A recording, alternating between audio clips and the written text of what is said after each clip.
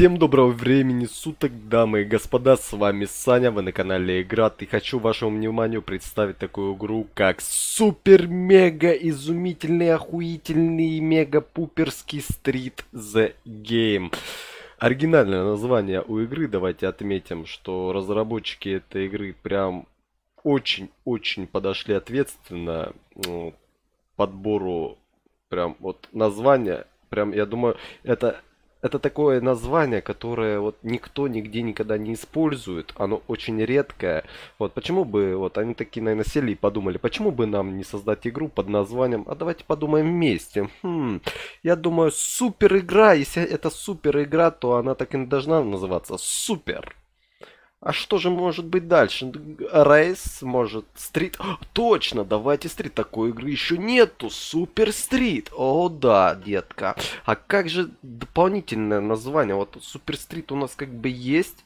Что же еще? Что еще можно придумать? И они тут решили и подумали. Просто давайте, это же игра The Game. The Game, все. Вот вам и пожалуйста. Супер стрит The Game. К чему это я, друзья? То, что как бы а, облицовочка, облицовочка этой игры выглядит замечательно. Мне, мне нравится, что тут именно та атмосфера, которая и должна быть в современных играх. То есть это хороший тюнинг. Вот, хороший тюнинг от настоящих производителей. Это такие как NOS, OS, Брид и все остальное. Вы это все прекрасно знаете. Я вам это не буду дальше все э, по полочкам раскладывать.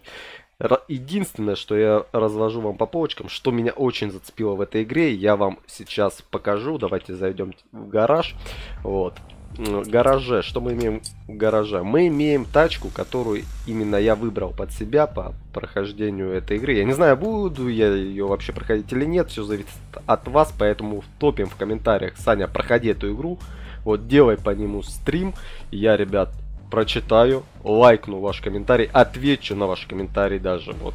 И сделаем отдельно уже стрим по этой игре. Значит, выбрал я подобие Honda Civic, как мы знаем, э, точнее, если вы еще не знаете, то я вам расскажу, в этой игре машины все не настоящие.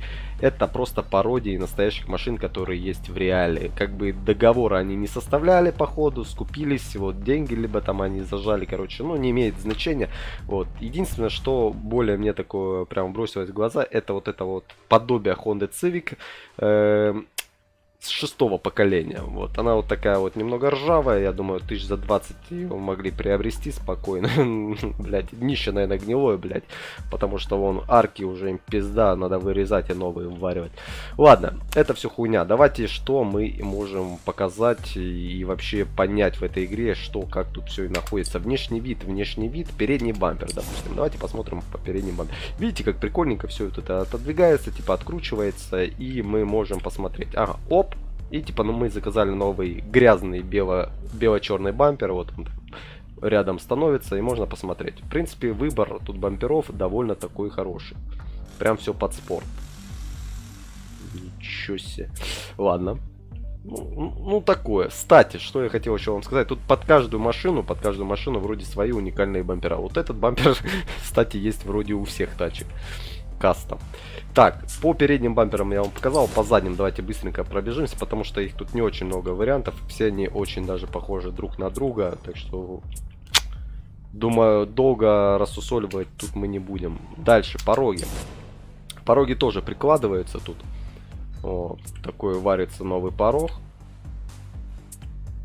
Это, это знаете, как будто взяли блок, вот, бетонный блок такой, немного выпили такую от, отверстие небольшое и просто взяли и вставили. Все. Зачем что-то выдумывать? Или пенопласт, блядь, ебанули и все, на суперклей. Ну, короче, мало, мало, мало тюнинга, я ожидал большего тюнинга.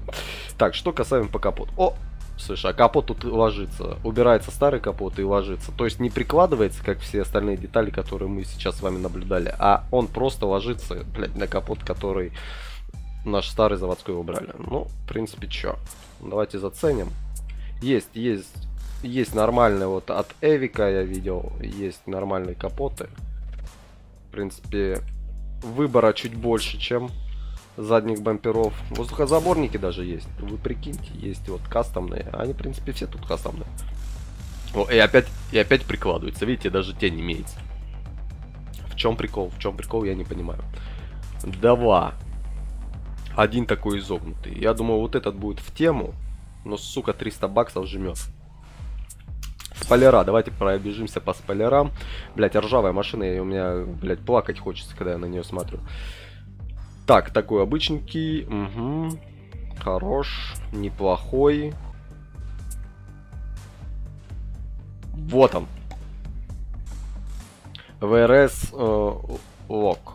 Сука, ну у него есть другое название. Он специально под какой-то, э, сука, стиль гонок. Ну ничего ты, вот это вообще просто, блядь, взяли, распилили доску, ебанули в красный, белый цвет и все, и пойдет. Ух, байда. Вот, ну это такое. В принципе, спойлеров тут больше, чем чем всего остального, наверное, если все сложить, наверное, спойлеров тут намного больше. Так, зеркала есть, слышь. Это мне уже напоминает Underground 2. В принципе, смотри, тут даже, видите, какие есть отдельные всякие с узорчиками. О! О! То, что я люблю, как говорится. Крылья. Ты посмотри, тут даже крылья. X2, F1 Style, GT. Сразу видно вот даже чем-то вот похоже на фордовский такой такое крыло. Вот согласитесь, есть какие-то очертания этого крыла под форд. И за 800 обвес. Сразу и заднего, и переднего. Я понял. Э, номерной знак. Э, сплиттер имеется еще и номерной знак. Что номерной знак дает? В принципе, либо он есть, либо его нету. Так забейте. Так себе тюнинг. я, я вообще в шоке, если честно. Так, что касаемо внешнего вида, мы с вами разобрались. Давайте перейдем к характеристикам. Выхлопная труба. У, слышь. Ну, как я и говорил, видите, вот внизу вы видите орех. Производитель есть такой. Вот. И, в принципе, если в эту игру вложились реальные производители, то есть они разрешили, чтобы их логотип, их названия были именно в этой игре, они, наверное, посчитали, что игра годная и стоит того, чтобы ихняя марка показывалась именно в этой игре. Почему же тогда отказались э, производители машин? В чем подлянка или что они как вообще это все хотели придумать? Я не понимаю, зачем было так портить. Корса. Ну, выхлопная система тут прям четенько. Видите, она так выдвигается прикольно. Дорогая, сука. Ну, а что поделать. В принципе, выхлопной системы тоже много, как и как и спойлеров. Все остальное как бы ожидается лучшего. Я надеюсь, игра будет как-то обновляться ну, в принципе, не имеет никакого значения. Почему-то нос самый дорогой, 700 баксов, и он стоит первый по списку. Как бы логика должна от меньшего к большему идти. Тут почему-то все наоборот. Окей, двигатель. Ты пос... Анимация, вы зацените анимацию. Вот такой у тебя старый двигатель хондовский стоит от Vitec. И у тебя хоп, новый. Хоп, еще один. 2,5 литра, 2,5 ребят, сразу 2,5. Трехлитровый. Ебать. Если мне память не изменяет, такой двигатель ставится на мощные Moscow кары. Я не знаю, зачем он тут нужен, блядь, 4 Понятно. Без комментариев, короче, оставим этот двигатель, потому что денег нет. Турбо. Турбо. Также открывается капот. И что мы видим? Система турбо. Ну, тоже вот меняется, и внешний вид тоже, естественно, меняется. Это, кстати, заебись. Такого в НФС, как я помню, нету. Так, что у нас тут?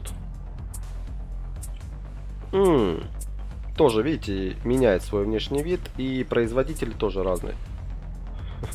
ОШКС вообще какой-то грибок, посмотрите, разноцветный. В принципе, понятно. Воздухозаборник. Так, охладитель. Охладитель у нас передняя вот эта решеточка идет. Блин, э, это четко, это четко, это, это лайк. Это лайк. Но у нас такой ржавый уже, уставший. Тормоза, тормоза. Давайте глянем по тор... Вы посмотрите, как снимается колесо. То есть, сам диск отходит, и шина уходит, слезает с диска. Плюс у нас такие ржавые тормоза. Вот можно поставить, что это? Не знаю, я, я только Брэмбо, только убиваюсь по Брэмбо. И, кстати, они есть разные. GT GT4 и Керамикс GT. К-спорт. Разные, разные, разные. На вкус и цвет, как говорится, кушайте, не обляпайтесь. По характеристикам только непонятно, почему-то если ты ставишь такие-то, такие-то, цена разная, а характеристики остаются вот внизу, в левой части, вот под моей вебкой, вы можете увидеть, когда меняются характеристики, они почему-то все одинаковые. Этого я не могу понять. ЭБУ. Э, так, по ЭБУ тоже ставится разная финтифлюшка, но характеристики почему-то не меняются. Ты можешь поставить самый днищевский, допустим, за 550, но он будет добавлять, или не будет добавлять уже. Это непонятно. Так, топливный инжектор. Топливный инжектор тоже разных фирм.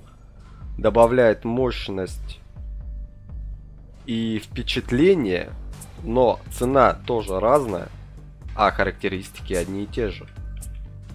Муфта. Даже муфта есть. Но это все не показывается, к сожалению. Принципе, по э, внутрячке именно вот так вот. Единственное, что мне понравилось, это то, как происходит эффект того, как ты меняешь, допустим, двигатель.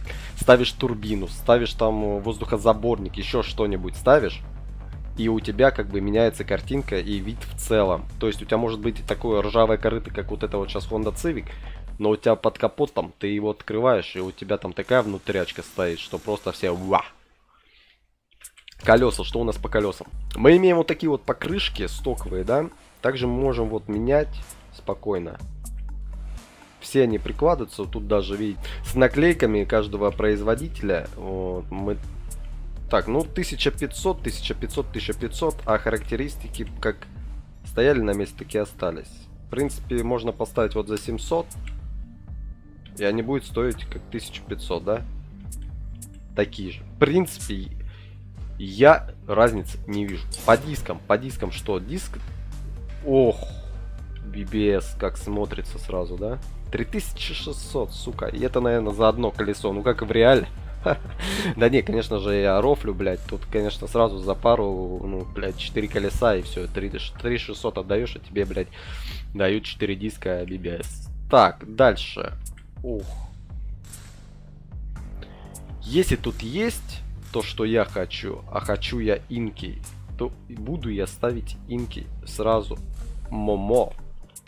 Я сейчас пролистаю, ребят. Это все вы можете сами скачать эту игру. И кому прям очень интересно, или на стриме, мы сделаем полный уже обзор по дискам, по всей внутрячке и так далее, так далее. ОС имеется. Вот такие вот у меня диски были, только у меня был, э, была реплика. Похоже очень. У меня были на колени. Прям очень похоже. О, вот эти, вот эти мне всегда нравились свое время. Так, я ищу инки. Есть? Спарка. В итоге, в итоге вот такие у нас стоят, блядь. Обычные штампы. Так, тюнинг. Передняя высота посадки. То есть мы можем менять посадку автомобиля. Сейчас я вам покажу. Видите? Передок поднимается. Я тут уже до этой самой видеозаписи немного поднастроил себе. Я сделал передний угол развала минус 9. Видите, колеса как немного наклонились. Даже можно 10,5, наверное, сделать. Подожди. 10,5 передние и задние. А, задние колеса проставка. Тут можно проставку сделать. Сразу колесо выпирает в хлам. Нам это, естественно, не очень надо. так, размер передних я сделал штампы, блядь, вот эти ебаные штампы, которые уже все, им пизда, они рассыпятся нахуй при первом же заезде, может, блядь, не знаю, может их покрасить до баллончика, чтобы, блядь, не так позорно было. Я их сделал 21 радиус, и мне кажется, это, это, это полный колхоз, но халява, ради халявы можно и поставить. Так, что по покраске? Покраска тоже тут имеется, покрасить все, покрасить деталь. Допустим, корпус, передний бампер, капот, двери, задний бампер, задняя крышка багажника, блядь, стекло можно даже, блядь, баллончика ебануть себе и все, и будешь радоваться. Тонировочка, блядь, топ. Самый модный на колхозе будешь. Э, что этим я хочу сказать? Покрасить тут можно. Можно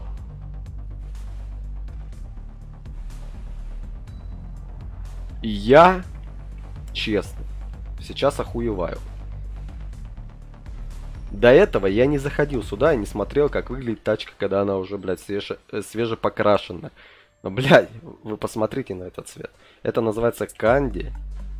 Блестяще, матово, металлик. Ну, короче, как обычно, даже скины какие-то есть. Что за скины? Это...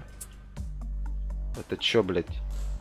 Такое впечатление, что, блядь, мамонт обосрал мою машину. Коричневый. Нет, нет, нет. Давайте возьмем канди и посмотрим, сколько оно будет стоить. 2000, мать его, баксов. Но оно будет того стоить. Просто будет машина сразу, без подварки, блядь, без нихуя. Просто красится, блядь, нахуй. Так, сверху и похуй. И машина превращается в конфетку просто. А, насчет покраски я вам так быстренько показал. Свет, смотрим, передние фары. А? А? Вы посмотрите, как, как она уже смотрится. А потом можно покрасить вот эти вот леснички, которые сверху фары. Вы посмотри, где вы такие фары еще, блядь, увидите. Ни в какой НФС такого нету. И выбор тут, кстати, довольно такой приличный. Я не знаю, как этот выбор вообще работает. Если по прохождению карьеры еще открывается или нет. Мне кажется, только вот это вот доступно и все. Все, товарищ. Твоя цель заработать бабла и сделать свою тачку крутой. Вот в чем смысл этой игры. Давайте пробежимся по задним фарам. Тоже имеются. Вот это вот неплохие фары. Вот тоже. В принципе, тут все годное, даже вот это вот было. Ну, сток тоже, ничего, отполировать и будет. Не он, ребят. Почему только она одна, я, я не знаю, и мне вопросы не задавайте. Одна одна. Это знаете, как э, в лихие 90-е, блядь, ну не в лихие даже, 90-е, 2000 когда Форсаж появился, и все начали тыкать себе, блядь, все подряд, наверное, с елки, блядь, сняли нахуй, под днище машину вот так ебанули, блядь, все, ты, блядь, прокачал свою тачку. Ну, так же и тут тебе дали одну, блядь, все, ленточку, блядь, ты ее ебанул под днище, которое у тебя нахуй гнилое хуямы, у тебя, блядь, не только, блядь, э, пол светит, у тебя весь салон ос освечивается в этот красный цвет, просто нахер. Интерьер машины даже есть, сиденье, вы посмотрите, дверь такая, хоп. Почему именно так? Почему не сделать дверь, да, согласитесь, как она правильно открывается? Почему ее нахуй надо вырывать, чтобы показать э, какое-то заштопанное сиденье, а потом, блядь, опять вваривать это, э, эту дверь обратно. Разработчики, вы так увлеклись тем, что, блядь, отходят две детали, блядь, потом вы их обратно, блядь, вставляете. Вам по кайфу, что ли? Это по кайфу, блядь, я не могу понять. Ну, в принципе, по сиденьям тоже, видите, производители вот э, Bride, Momo, ну и Sparco, естественно, и наше колхозное сиденье. Дальше, руль. Опять минус, минус дверь. Руль обычный, руль такой, руль секой, блядь. Единственное, я не могу понять, нахуя тут рули, блядь, менять, если нету, как бы, от первого лица вида этой игры. Приборная панель также. Все. Такая. Короче, нихуя не меняется, вешается вверху, блядь, тахометр или какая-то это вот это вот красная, э, красная говорю, бело-красная круглая поебень, которая нахуй не нужна. Багажник. Что касаемо багажника, тут тоже, как в NFS Underground 2, имеются вставки такие вот под динамики походу, либо что это, можно компьютер туда поставить, ну, либо трупы возить какие-нибудь. Все, все. После того, как мы прокачаем багажник, откроется сабвуфер, видеоэкран, там какие-то усилители и так далее, и так далее. Все, это мы показали. Тюнинг. Тюнинг это то, что я вам показал ранее. То есть настраиваешь свою машину, как она тебе нужна. Посадка, угол развала, передние колесные вставки, задние колесные вставки. Все, что твоей душе угодно, как твоя фантазия, блядь, видит свою машину, ты можешь это сделать. Можешь сделать, блядь, инопланетянин, который, блядь, люди увидят, э, где-нибудь ты будешь в колхозе своем проезжать, и люди увидят эту машину и скажут, господи, блядь, инопланетяне прилетели в наше село. А, что касаемо команды, что за команда? Я не в курсе, что это за команда, и тут никакой команды нет. Это наебалово полное. Все. Вот все, что мы имеем в гараже. Поэтому по, по внешнему виду, по внешнему виду, по тюнингу, я призываю вас написать в комментариях. Написать в комментариях, годно это до 2018 года или так себе говнецо. Мне кажется, моментами, вот лично мое мнение, лично мое мнение, моментами игра даже очень хороша э, в плане тюнинга. Есть такое, что нету как бы в других играх, и можно было бы сделать в NFS Underground, да даже в других NFS-ках. То, что еще огромный плюс, это э, эмблемы и настоящие производители. Все, вот это вот жирный плюс. Больше из хорошего я ничего пока тут не увидел.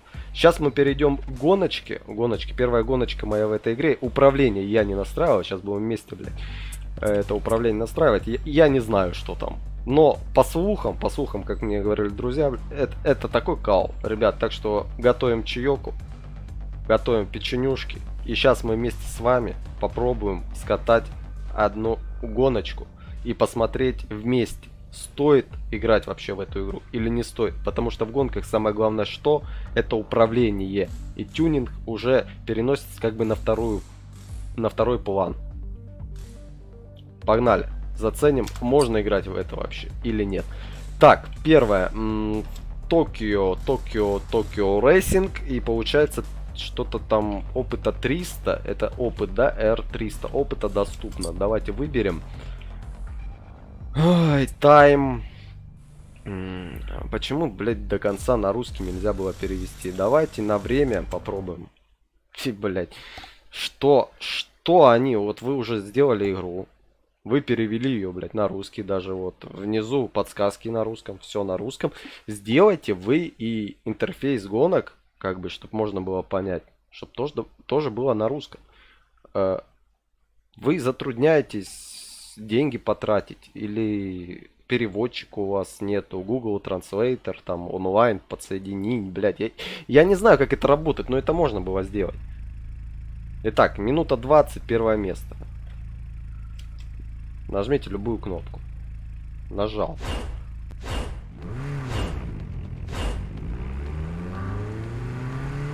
Старт вялый. Управление очень резкое.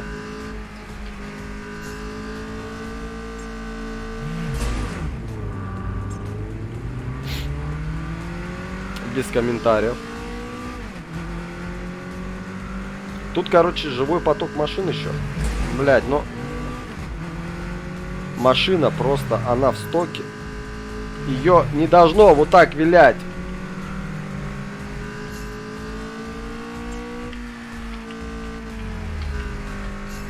Ее не должно вот так вилять. Вы посмотрите, вот я влево нажал, все, вправо, влево, все, ее начинает носить по полной программе. А в дрифт, дрифт, сука, не хочет заходить. Когда я нажимаю пробел, нету никакого сцепления с дорогой. Вообще она не чувствует, блядь, ни хера. Поэтому очень-очень-очень мне трудно сказать, что эта игра прям охеренно до 2018 года. Нету в ней ничего такого. Я еще плюс вижу, что она немного подлагивает, блядь, финиш. И что мы имеем? Первое место. Куда-то в кущери улетели.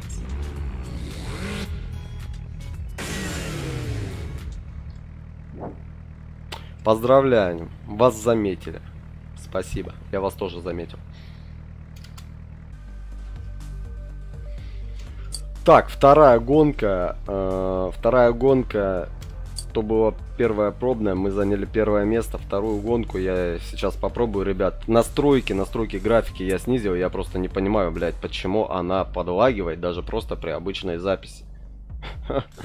Сука, игру прям подготовили, прям вот исключительно, знаете, вот сроки поджимают, сроки поджимают, надо игру, блядь, срочно выпускать. И вот они ее, на нахуй, блядь, давай, как есть, все. Покупайте. Самое главное, блядь, какой девиз, блядь, любой, любых чуваков, которые продают игру за бабки. Есть игра, есть игра, да? Даже она, если у тебя еще не доработана, есть какие-то косяки, блядь. Знаете, что самое главное? ебануть нахуй бета-тест, блядь, ебануть ее уже в продажу, блядь, а потом ее только доделывать обновлениями. Вот, вот так делают бабки. Понимаете? Красивый, красивый трейлер, красивый трейлер и больше нихуя. Все, поехали, попробуем вторую гоночку. Уже, уже играем ночью с соперниками. Старт, старт очень вялый. Старт очень вялый и управление такое же дебильное, как и было в первой гонке. Просто невыносимое управление. Ух ты ё! Кстати, разрушаемость тут хорошая.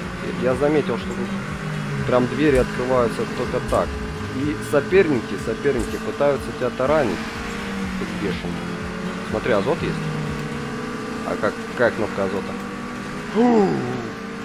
Ты чё, серьезно? Ты издеваешься? Тут азот есть, на стоковый, сука. В машине азот? Э, а почему у меня тачку несет в другую сторону? И, ребят, это, это, я думаю, в это стоит играть, только когда ты бухой в хлам.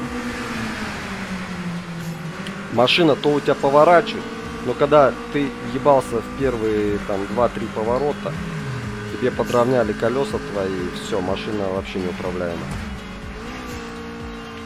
Контрольная точка доступна. Я, я не знаю, стоит ли в это играть, судите вы. Я просто гонщик со стажем, поэтому я еще как-то пытаюсь тут выруливать это все. Музыка, кстати, если не знаю, слышите вы ее или нет, она такая немного отстойная. Походу, просто без авторских прав с ютуба скачали и просто впихнули в эту долбанную игру. Если еще даже это с авторскими правами, и YouTube будет э, как бы плакать, писать, что вы, сука, пиздите музыку и так далее, и так далее, я вообще в ахере буду, и я не буду играть в это говно. Потому что музыка тут так себе. Музыка это как бы святое для гонок. Тут ее нету. Тут какая-то играет мелодия, первое место, машина в хлам, и выводы делайте сами. Давайте подведем итоги по этой игре. Напоминаю, мы пробуем игру и делаем такой вот небольшой обзор по игре э, Super Street The Game. Игра 2018 года, которая должна просто покорить всех своим тюнингом, который ребята, я думаю, многие уже слышали и смотрели, и сами делали, наверное, тоже обзоры по этой игре, говорили, что игра достойна, игра достойна тем, что тут охуенный тюнинг. Да, я согласен, тюнинг местами пиздатый. Местами. Но геймплей по управлению... По управлению он вообще тут ни о чем. И не важно, какая у тебя скорость. Не важно, какая у тебя скорость. Ты начинаешь просто вот так, как сосиска, блядь, ехать. Из-за того, что какое-то тут непонятно управление с чувствительностью при нажатии поворота. Если, если, я еще покопаюсь в настройках, если это в игре так изначально задумано, то в эту парашу я играть не буду. Я, я сразу говорю, в это говнецо я играть не буду. Если же это можно изменить, то есть сделать более симуляторнее, то я даже поиграю и сделаю пару стримов, ребят, по этой игре. И от вас зависит. Не забываем прожимать лайки за этот обзор. Я думаю, вам многим понравился, многим, может, вообще не знали о такой игре. Ребята, прожимайте лайки, подписывайтесь на канал. С вами был Саня, канал Играт. И жду ваших комментариев, прочитаю все до единого. Давайте, ребят, до встречи. Пока-пока.